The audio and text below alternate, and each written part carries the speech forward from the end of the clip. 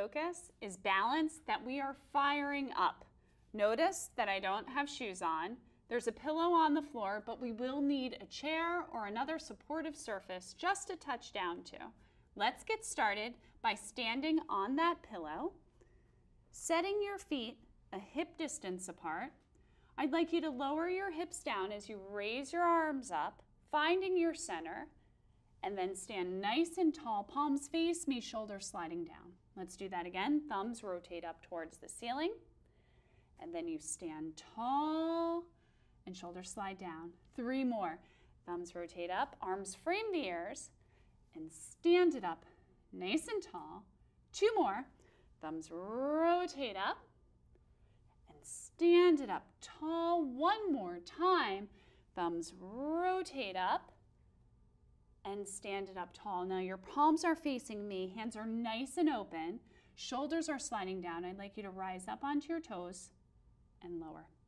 If you need support, just gently touch down. Once you get the hang of it, you can release.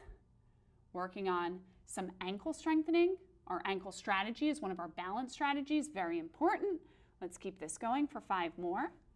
And lower. You have four and down. Last three. You're doing great. Final two, you should be feeling this in the calves. One more time, hold your posture really tall, really grow up towards the ceiling and lower. Hold on to the chair and set your feet side by side and touching. Hands are going to come across your chest. If you're unstable, you can find a point on the floor, but if you feel stable, try to find a point up. You're just going to hold here with eyes open. Focus on that little sway that the body has, taking deep breaths here before we shut those eyes and continue to hold. In five more seconds, four, three, two, and now you're going to close your eyes, focusing on how you have more sway now. And you're focusing on that control, feeling your ankles work, maybe even your hips kick in. Your abs are contracting. If you get dizzy during any of this, please open your eyes. If you need to touch down, do so for support. We're going to hold here for five, four, three, keep breathing, two, and one. Release your arms down, hold on to the chair. We're going to go into a tandem stance. I'd like you to place your right foot back and your left foot forward, heel right in front of the toe of the opposite foot. You're going to hold here, finding your balance. Our base of support is now small. We're also on something unsteady. You're going to hold here. Keep holding, hands across the chest. Keep holding on to it. Remember, you can find a point on the floor, but if you look up or try to find a point around you, or even look up and down, that makes this much more challenging. Let's continue to hold in this tandem stance for five, four, three, two, and I just lost my balance. It's tough. Reset your feet. Send your left foot back. Place your opposite foot forward. The other challenge you can get is different plush of pillow which you're standing. The fluffier it is, the harder it can be. Support, find your stability, hold, find a point on the floor, challenge with arms tighter to the body, continue to hold, feel the ankles working, move your gaze for the challenge, keep holding. You have five, four, three, two, one. Step off your pillow. You're now going to set it aside. What we're going to do now is just shake off the feet a little bit. And what I'd like you to do is place your left foot forward and your right foot back. But this time they're separated, so they're staggered. What I'd like you to do is clasp your hands. You're going to reach forward, but notice I'm keeping my knees straight and I'm going to pull my hands back in. I reach out, counterbalancing this reach by sending my hips behind me, and I pull it in. Again, you want to reach it out and pull it in. Let's do five more. Reaching forward, pulling center. Four more. Again, finding a point on the floor to look at will make this easier.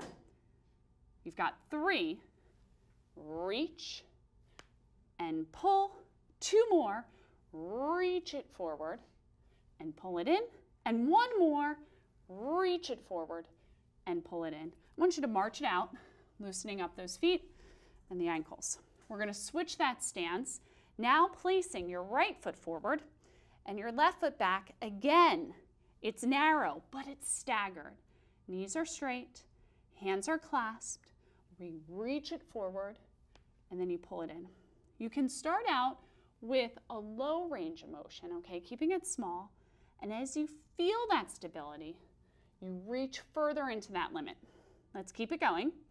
Reaching forward, pulling it in. Again, reach forward, pull in. You've got five more. Reach it out, pull it center. Four more, reach out and center. Last three, reach and center. Two more, reach, center. Last time, you reach and center. Release the arms. Let's just march it out again, loosening out the legs because we're going to go into a single leg stance. So it's all about the weight shift into the stationary leg. Use your support to hold. Let's shift the weight into that right foot, raising the left foot up. You can bring your toe down if you need, or foot heel to the opposite shin. But you're going to try to hold here and clasp those hands and then rotate. Rotate, trying to engage the body to want to lean towards the side where the leg is lifted, but you're not going there because you're holding that balance for five more. And four, keep going. Three, hang on to it. Two, it's tough. One, relax. Foot down, face the chair. Just want you to jog your heels a little bit. Loosen up the calves because you're really going to feel it on that one. Let's do five more and four. You've got three and two. And you're going to face front again. This time, your focus is shifting your weight into the left leg. You can start with a toe down or a heel to the shin. You're going to find that single leg stance, bringing arms out in front. You're going to take that rotation and perturbate that balance over to the right, but you're not going there. You're hanging on to it. With me, we're trying our best. If you touch down, that's okay.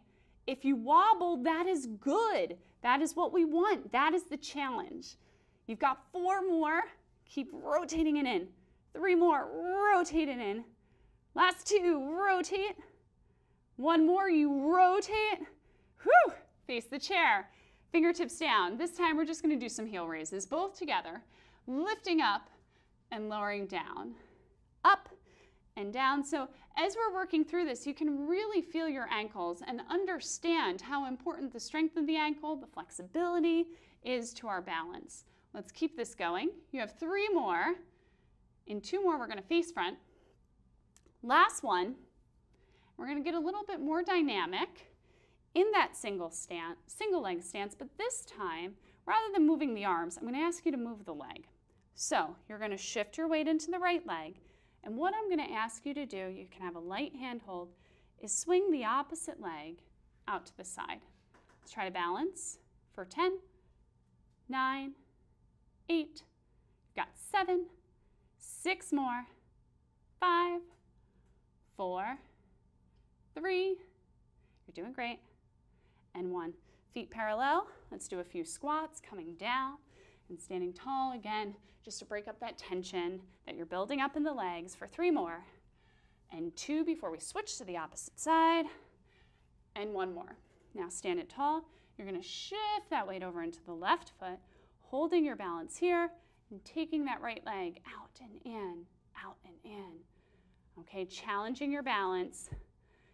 All right, as if you're fighting yourself.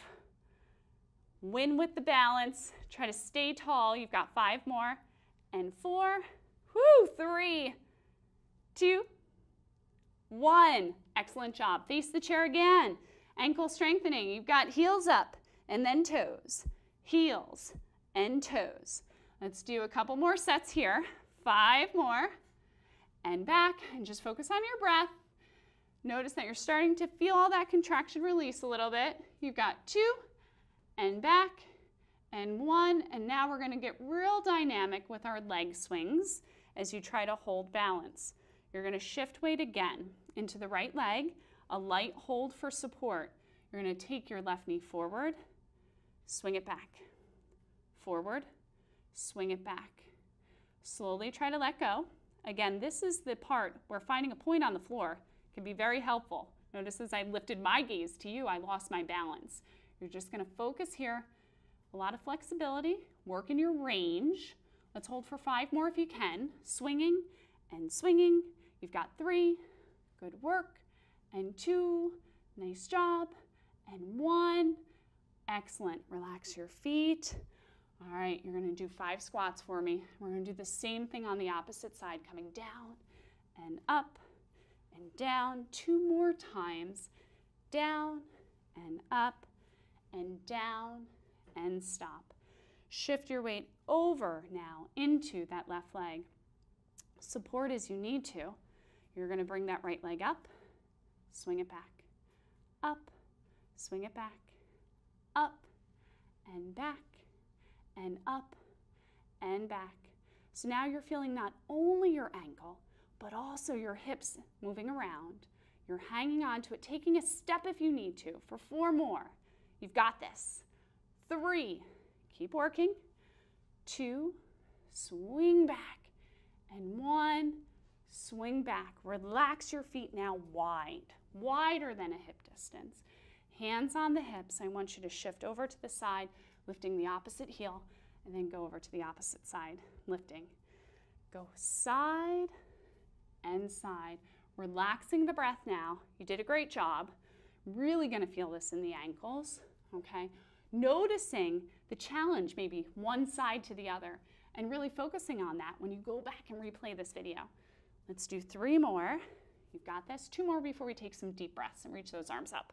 One more each side. Excellent. You're to take a deep breath in, arms come up, and exhale, lower down. Let's do that two more times.